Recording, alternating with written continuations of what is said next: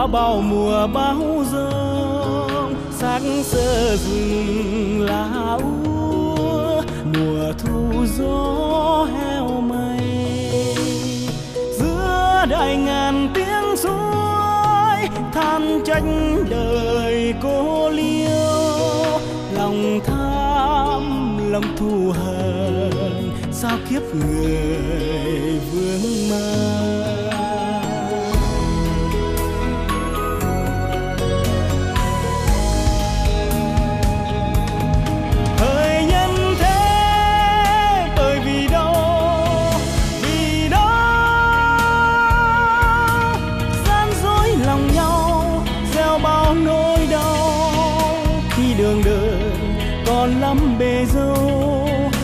lòng người thâm độc hiểm sâu.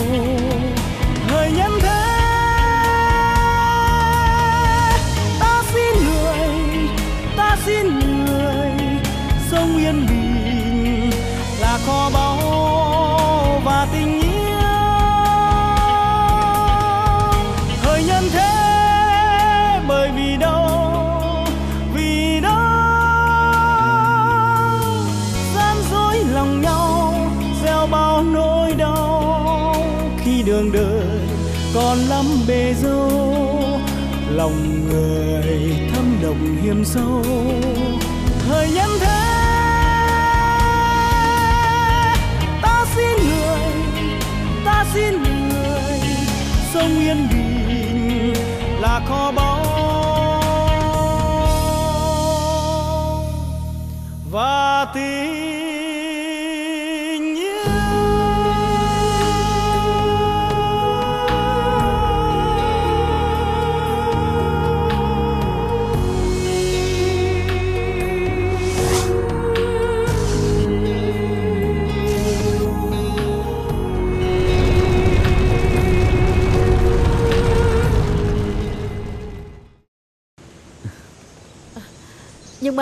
anh chị Quy Dạo gần đây làm nhiều chuyện xấu với dân bàn lắm. Đã hứa với cha Bi là thay đổi Nhưng mà không biết anh chị Quy có thật cây bùng hay không nữa. Nếu vậy á Thì tôi với Camry tránh đi Để xem chế quy có thực bụng là có muốn thay đổi hay không Hả Ừ.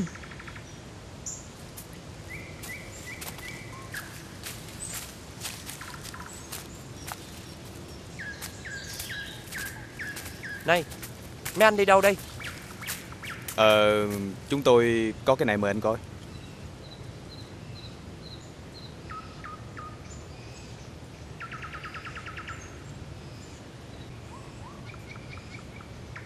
Thôi được rồi Các anh cứ tiến hành đi Mà phải làm đúng các quy định ở đây Còn không Là tụi tôi lập biên bản anh á Cảm ơn trưởng thôn nha.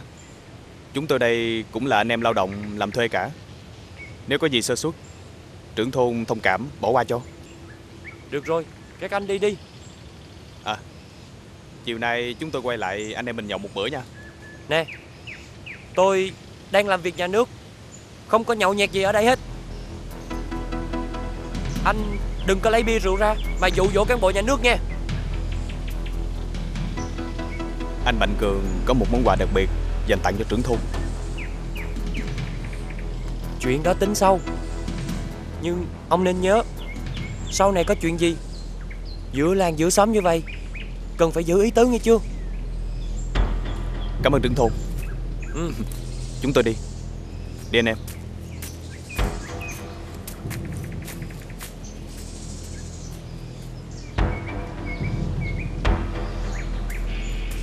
Chị Quy Chào anh công an Châu Chế Hùng Chào anh Tôi và Camry á, đang định tìm anh để hỏi anh một chút chuyện. Camry tới đây từ lúc nào? Sao tôi không biết? Chị Quy Camry hỏi anh nè. Tại sao anh không ngăn nhóm người ở dưới xuôi đó lại vậy? Ờ, Tôi thì làm sao ngăn được? Sao vậy Thì họ có giấy phép ở trên cấp xuống. Chỉ cần trình cho địa phương biết Là tôi chịu thua thôi. Nếu như đã có giấy phép á Thì mình cứ căn cứ theo giấy phép mà kiểm tra Nếu mà họ làm sai á Thì mình sẽ yêu cầu họ ngưng khai thác. Đúng không anh Chí Quy? Ừ Thì tôi cũng có thể làm được như vậy thôi. Camry về báo với ông Châu Chip như vậy nha.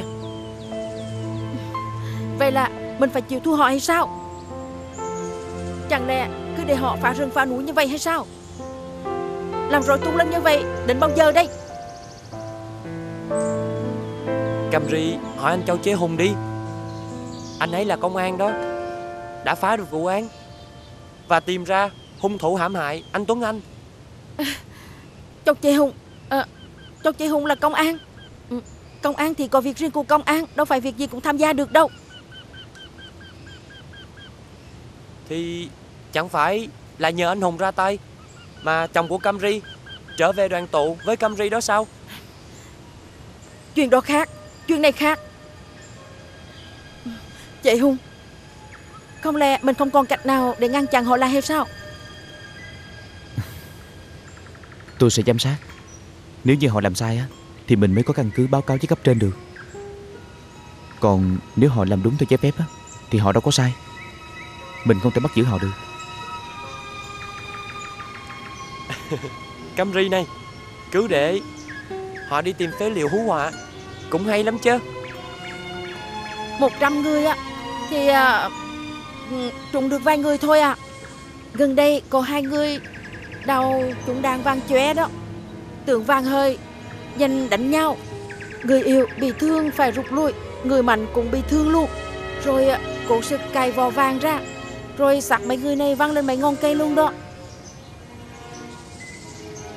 Thôi Camry chào chị Quy nha. Ừ. Chào chị Hùng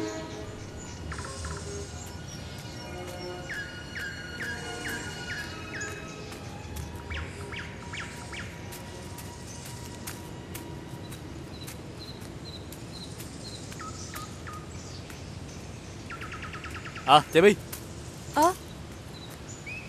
Cha Bi à, lên trường đóng cổ về hả? Ừ. Ủa anh Cường Anh lại lên rừng nữa hả? À, Tại vì à, anh nhớ cha Bi quá Nên anh lên đây thăm cha Bi nè ừ.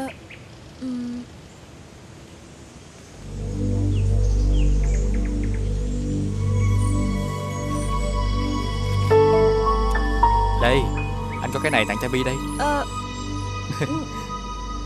Cảm ơn anh Mạnh Cường Nhưng mà cha Bi không có nhận được đâu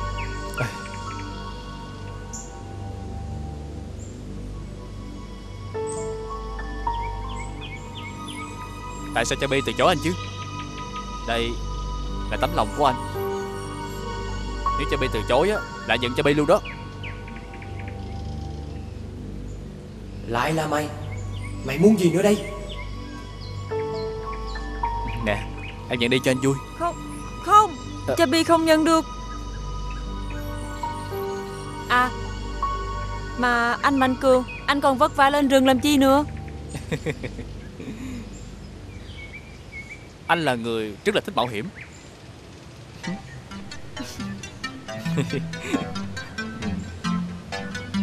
Và anh rất là thích chinh phục. Đặc biệt là. Thích chinh phục cha Bi. Anh Mạnh Cường Anh đừng có chọc cha Bi nữa. Ừ. Anh lên rừng để tìm kho báu chứ gì? Chứ làm gì mà nhớ tới cha Bi? À không Anh lên rừng là để thám hiểm mà.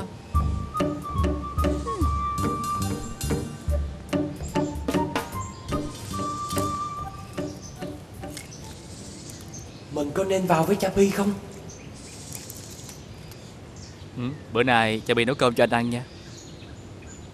Anh rất thích ăn cơm của một cô gái ở trên này. Nhưng mà Không có ai chịu nấu cơm cho anh ăn hết á. Cái đó thì về thôi Hôm nay, cha Bi sẽ nấu cơm cho anh ăn. Không. Ý của anh là Sẽ nấu cơm cho anh ăn cả đời đó. Em ở chung nhà với anh nha, cha Bi.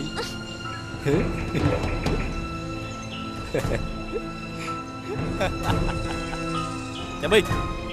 Cha Bi mà càng làm như vậy đó ha, Thì anh á Lại càng thích cha Bi hơn.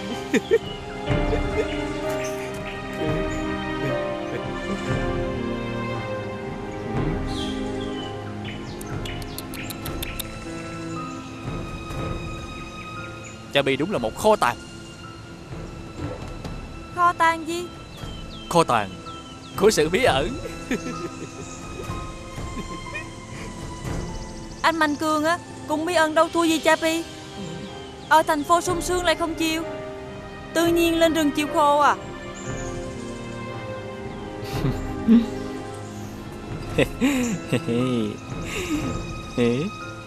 Ừm. Chịu khổ vì một cô sơn nữ đẹp như Cha Bi. Vậy cũng đáng mà. À Cha Bi à Cha Bi à. À Cha Bi. Đây đây. Anh có cái này đẹp lắm. Anh tặng Cha Bi đó. Đẹp không? Cha Pi trả cho anh nè. Ờ Cha Bi à. Anh á. Ờ Mạnh Cương. Anh Gia Quy Nè Trả Cha Bi lại cho anh đó. Nếu anh còn hung dữ như vậy nữa Đám lâm tặc kia sẽ xuất hiện làm chứng đó. Là anh đừng trách với tôi.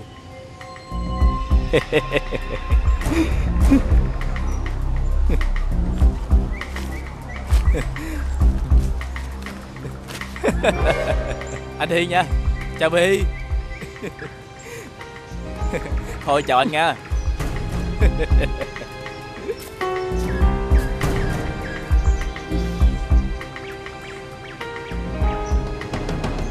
Gia Quy Có phải anh định làm chuyện xấu nữa không? Không Anh đã hứa với cha Pi Là anh phải giữ lời.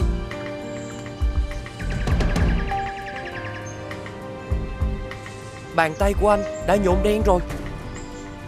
Đã bị quỷ dữ đầu độc. Anh phải làm gì để rửa sạch đây hả cha Pi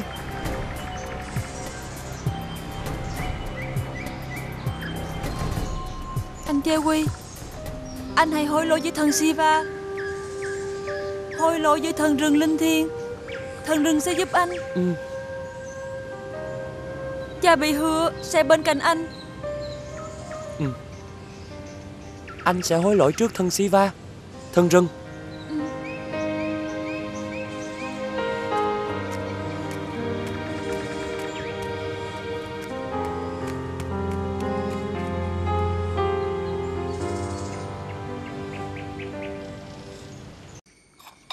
Cam Ri à. Thằng Chỉ Huy cũng không thể ngăn thằng Mạnh Cương tìm kho báu hay sao? Chị Quy nói Mạnh Cường có giấy phép của trên. Vậy còn thằng Châu Chê Hùng? Nó là công an Chắc nó phải có cách gì chứ? Chị Hùng cũng nói giọng chị Quy vậy đó cha. Họ nói là Mạnh Cường nếu làm đúng theo giấy phép Thì sẽ không làm được gì đâu cha. Phải nghĩ cách Phải tự mình ngăn cản Mạnh Cường thôi Bằng cách nào anh Châu Sơn? Dạ con chào mọi Ừ. người. Ờ thằng Lộc chào rồi. Cha về đâu? Dạ chú Tuấn Anh đã về Sài Gòn Để gặp bác Tùng rồi ông à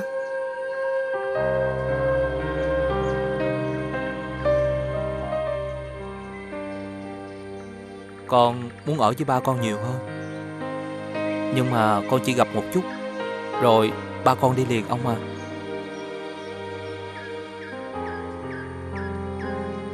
Ủa Mà mọi người đang bàn chuyện gì vậy? À Bàn cách ngăn chặn Mạnh Cường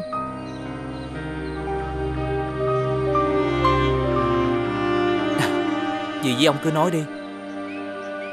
Thu Hà không giống như anh Mạnh Cường đâu.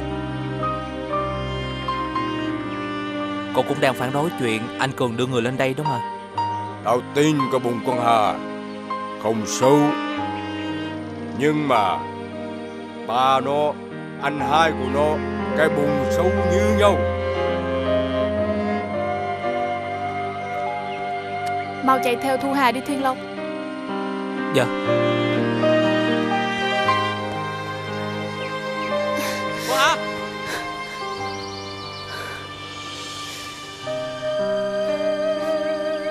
xin lỗi.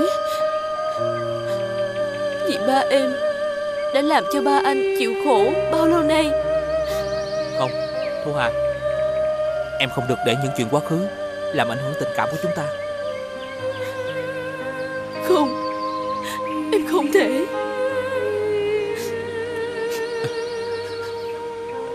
Anh yêu em. Thu Hà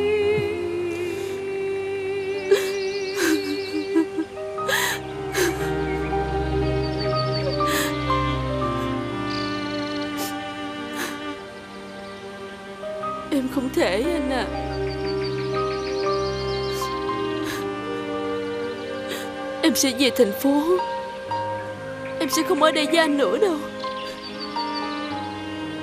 Không được. Em phải ở lại đây với anh. Em hãy tin anh. Tạm biệt anh. Thu Hà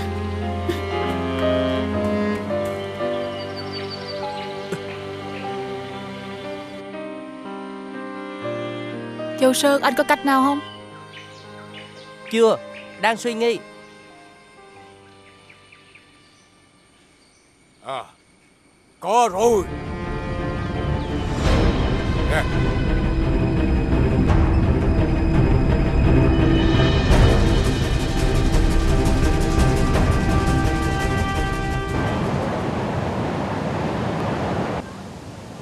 Dạ ơi Vậy là tấm bản đồ của họ Chỉ kho báo chôn dưới lòng suối này rồi Mà bản đồ đó có chính xác không dạ đừng có hỏi. Cháu phải lo giúp già để bảo vệ khu vực này. Đừng có bị phá hoại nữa. Dạ Dạ con chào Gia Gia ơi Thường ngày con chỉ đi ngang qua thôi Là đã bị la măng rồi Giờ chịu thua ho à Phải làm gì đi chứ Gia Đứa nào nghĩ cách đi. Còn Sari, cái đầu của mày có nhiều mũ mèo mà. Thần Shiva ơi Xin hãy giúp Sari với Điều gì? Mà dạ ơi Dạ phải cẩn thận đó Coi chừng lẫn lộn người sau kẻ tốt đó nha dạ Châu Sơn, cháu có giúp Châu Chip để ngăn tụi nó lại không? Ờ, thì cùng đứng đây bàn tính. Đầu óc của già dạo này cạn như suối mùa khô vậy. Già với anh Châu Sơn cứ đứng thi thầm với nhau Làm con tưởng là có cách rồi Thì ra là dân chưa có cách gì hết Thì già rủ thằng Châu Sơn ra tuần nơi coi tụi nó đang làm cái gì thì mới nghĩ ra cách để ngăn tụi nó chứ. Ừ Vậy già con muốn nghe ý kiến của Sari không? Chẳng phải là anh Châu Sơn nói với già là trong rừng dạo này nhiều bòn sâu lắm sao? Phải coi chừng đó. Cách gì? Già và Châu Sơn cứ về nhà, rồi con sẽ nói sao?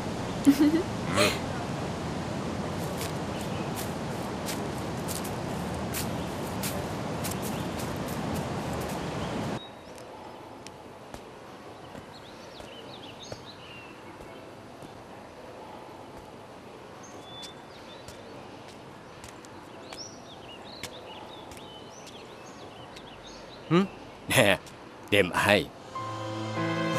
Ba Có phải Tuấn Anh không Dạ con đây. Con Mặt con sao vậy?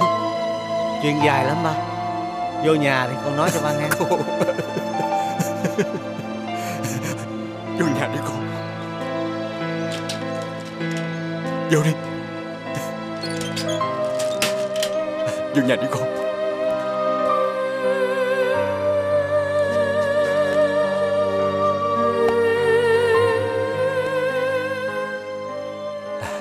Ngồi đi.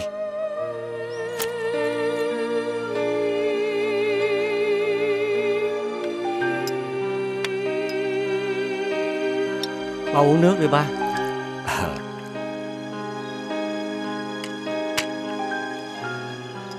Con xin lỗi ba. Con phải để cho ba mòn mỏi chờ đợi mấy năm qua. Không sao đâu con. Con còn sống trở về Dù bao lâu ba cũng đợi mà Ba với thằng Lộc Chưa bao giờ tin con đã chết mà. Có điều gì đó Quẩn khúc sau cái chết của con Mà thằng Dũng kể lại cho ba. Con thì đã về đây rồi. Còn Chí Dũng thì bị bắt rồi ba Con ở trển con có gặp thằng Lộc không? Dạ có. Con mới gặp nó một chút thôi. Rồi à, con về Sài Gòn liền nè. Con chờ ba một chút Ba vô nấu cái gì? Cho con ăn nghe. Không cần đâu ba. Đi dọc đường á con đã ăn đồ trên xe rồi. Bao năm trời ở ngoài đó Con vẫn chưa từ bỏ ý định tìm kho báu sao? Thưa ba Bây giờ con không phải đi tìm kho báu nữa Mà con bảo vệ kho báu rồi ba. Bảo vệ? Có rất nhiều người xấu Đang rình rập kho báu đó ba Tới giờ này mà con còn nghĩ Có kho báu thật hay sao? Thôi bỏ đi con. Kêu thằng Lộc về đây. Gia đình mình đoàn tụ. Ba thì có con Ông thì có cháu. Có phải tốt hơn không? Ba Con đang nghiên cứu hiện trường. Con biết được ờ, một số manh mối Về bí ẩn của kho báu đó. Ba hãy tin con. Nếu được Ba mừng cho con Ba không tọc mạch Về những bí mật trong công việc của con. Nhưng có một bí mật Mà con muốn cho ba biết. Ba không còn muốn gì hết. Ngoài việc con còn sống trở về Là ba với thằng Lộc đã mừng lắm rồi. Con cảm ơn ba. Còn à, con với Camry thế nào rồi? Rồi à, thằng Châu Phách nữa. Vì ờ, muốn bảo vệ kho báu Nên thời gian trước á, Con tạm thời không có sống chung với cổ. Nhưng ờ, ba ơi Bây giờ thì ổn rồi. À, Con có thể công khai Và quan tâm chăm sóc hai mẹ con cổ. À, Vậy cũng tốt Ba Lâu nay ba có tin tức gì Ngọc Diễm không? À, Sau khi à, con ly hôn với Ngọc Diễm đó Rồi à, chính thức kết hôn với à, Camry Thì à, con Diễm về ở luôn với thằng Khanh. Chỉ tiếc là số nó hậm hiu Vì thằng Khanh là đứa không ra gì. Dạ. Uống nước đi con.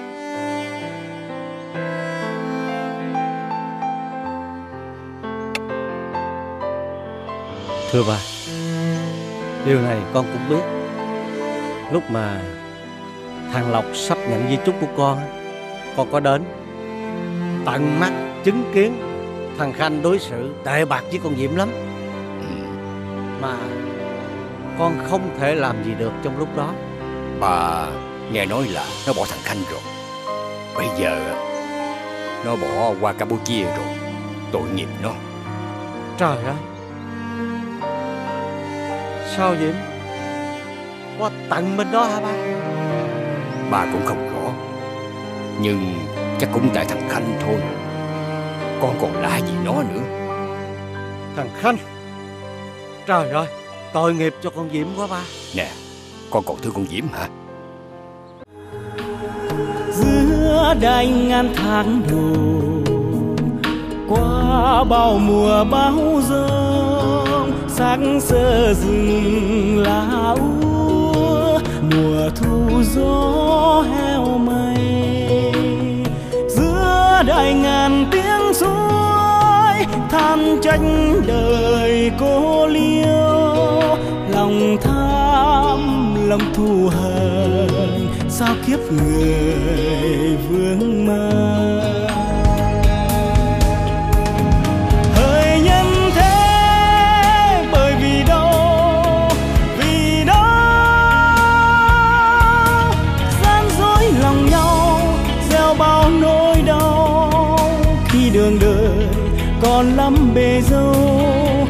lòng người thâm độc hiểm sâu. Người nhân thế, ta xin người, ta xin người. Sống yên bình là kho báu và tình